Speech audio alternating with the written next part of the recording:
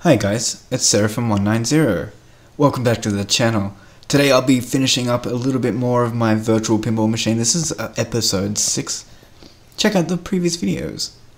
This is a plunger I ordered from eBay and it came in. It's a digital plunger for a virtual pinball and you can see it was uh, 3D printed the parts and it was already put together when I got it so it's a very simple contraption. You pull it back and it presses a little button inside uh, which triggers the USB output. And we're going to hook this up today. So stick around! Hit the like button and subscribe, you guys, because I'm going to go all the way with this thing.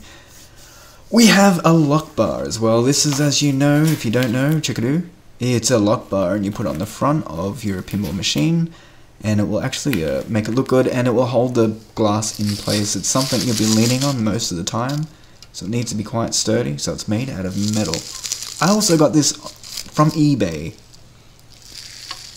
So eBay is where you get a lock bar. I literally just typed in lock bar in eBay. I got this for $35. It's super cheap. It's, you're not going to get it cheaper than that, you guys. They're usually 200 to $300. I mean, including shipping as well. Excuse me. This is a lock bar. Let me lock it on for you right now. Let's see if it fits, alright? This is a moment of truth. Let's see if it... Oh my god, are you kidding me? It fits 100%! It's 22 inches long, I believe. And therefore, it should have fit perfect, and it does.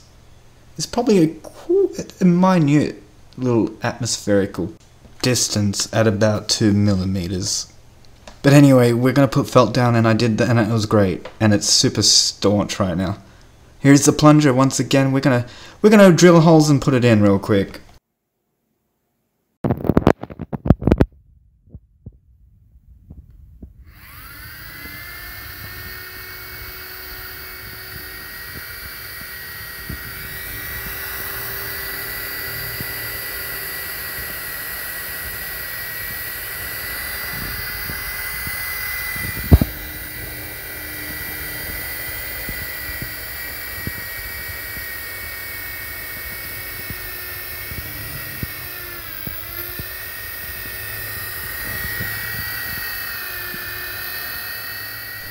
That's how we heat up our tucker in the desert.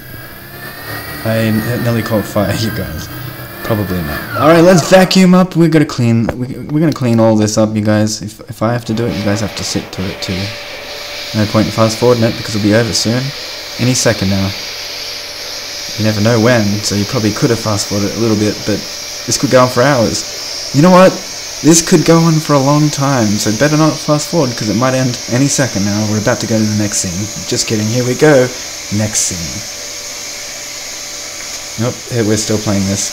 So yeah, we're cleaning together, guys. Responsibility. This is what it's like. Not everything's fun and games, you fiddlers. Sometimes you gotta find time to fluctuate, which is a word that means functioning. We need to cause some feng shui. We're going to clean up a little bit, make make it all nice, get rid of the dust particles. Alright, just kidding. We're coming to the next scene. Should have probably fast forwarded it. Maybe that would have been a good deal. It's too late now. You may as well just stick around. So how you guys been? It's not all, how you guys been? So we're about to go to the next scene right now. Here we go. You know what? This is a much faster. I'm having a good time with this. Good thing you didn't fast forward, you would have missed the beauty of the robots helping the humankind. This is amazing. Get what the, the fuck off, cunt. Alright, so I'm back and we're gonna put this plunger device. A fantastic device, by the way, Mr. eBay man. I might put a link in the description on my last video of where I got all these pieces. I'm so nervous right now. You can probably see me shaking. Alright, so I'm about to put this in, and as you can see, no, no, it doesn't fit. This reminds me of the time David Bowie came to me in a dream and said, No! Seraphim, turn back! Turn back before it's too late. Uh, but I just kept pushing on, guys, and look how far I've come. Turn back, Seraphim! Turn back before it's too late. Well, I just simply stood there and looked at him and said, "You've got no power over me, David. You have no power over me. Do you see that camera shot went straight through the hole? Can your camera do that? Alright, we're going to put the plunger through the hole.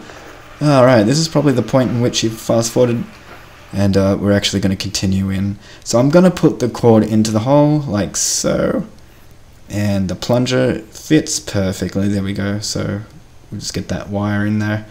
Um, don't worry about my nails, guys. I play the guitar, so I need them. I like to have them long uh, to strum a to strum a beat. Look how big the thumb one is. That's for the top D fret. That's for the D string. I mean. So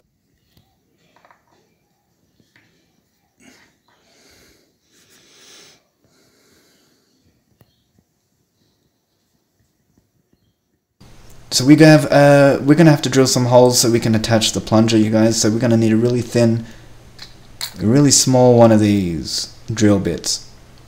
So I'm gonna start off super small, and then I'm gonna work my way up, probably three sizes, uh, to the size I need. So let's do that real quick.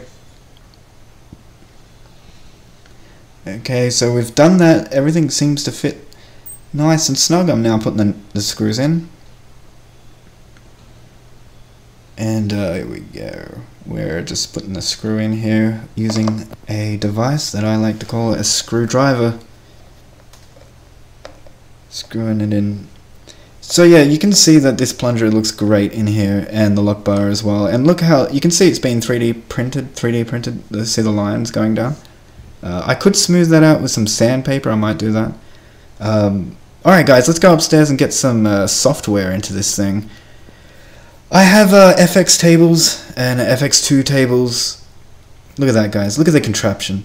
And I also have um, arcade, pinball arcade tables and Zaccaria tables. And as you know, we also have a Seraphim table. So if you were around last week, you may have seen it. If not, check out the video. There's a link. And uh, yeah, go check that out. It's got cabinet mode. So here's all my files here that I'm just putting across onto a USB stick. So when I get the new computer, I'm basically going to shove the USB stick in, upload most of the tables, then I'm going to download Steam and uh, sign in basically, and I should have all my tables. This is the one I did. Uh, if you wanted to play this, it's on Dreams. Just check it out. Type in Seraphim Pinball, or just type in Seraphim 190, and you should see all the games that I've made. So uh, yeah, please go check that out. It's got cabinet mode. And yes, I will be attempting to put this in the cabinet also temporarily, just for fun, uh, to see how it goes. Just because it's probably not been done before. Uh, I've also got vibration function I've noticed in the DualShock controllers. I'm going to have two or three of them even plugged into one USB splitter device and I'm just going to throw them literally into the table. Like, and I kid you not, it's going to work, trust me, I know. I know what I'm doing.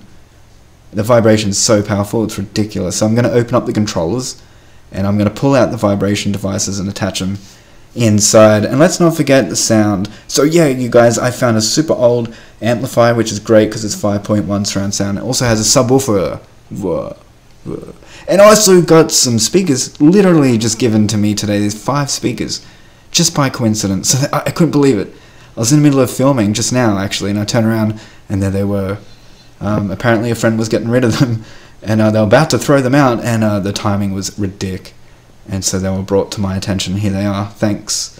And this is a subwoofer. It's going to sound fantastic. I've hooked them all up, and uh, I have actually uh, got an idea here. So look at these long left and right speakers here. Thinking I'm going to break them in half, so I can fit them in the table, and that's exactly what I'm going to do. It's actually what I did. And here we go. I'm about to do it now. So that's Mortal Kombat Complete Collection if you're wondering what's playing on my uh, arcade machine. It's a fantastic game. Uh, looks great on the... Alright, let's get the screwdriver.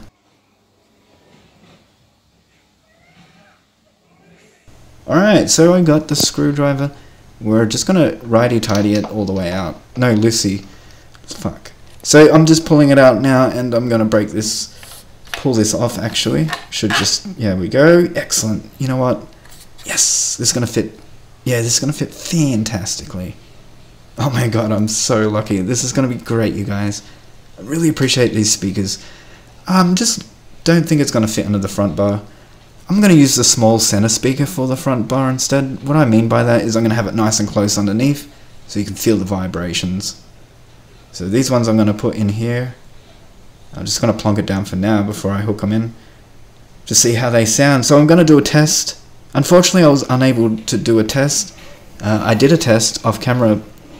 I'm using a tablet right now, the same one I tested the music from. So I had a, a, jack, headphone jack out from here of my uh, amplifier straight into my tablet, which I have FX tables on there, funny enough. And they sound great. I had it up full ball, you guys. That subwoofer was pushing so hard, so much air was coming out of it. I could feel the table moving. I'm not even kidding. It feels like there's a pinball. It feels mechanical inside. So I wish I could have showed you that footage. Maybe in the next video I'll use my GoPro camera. But I was playing pinball and I had it hooked up to the sound system and it was just insane. Like the vibrations was more than enough. I it literally felt mechanical inside. I'm so impressed. I, oh my god. More so than what I thought it would be actually. So that's 5.1 surround sound. Sounds great. Alright guys, stick around for the next video because we'll be getting LED lights, chasing LED dream lights, and we'll be putting the glass side panels in as well. So stick around and subscribe. I'm Seraphim, catch you later.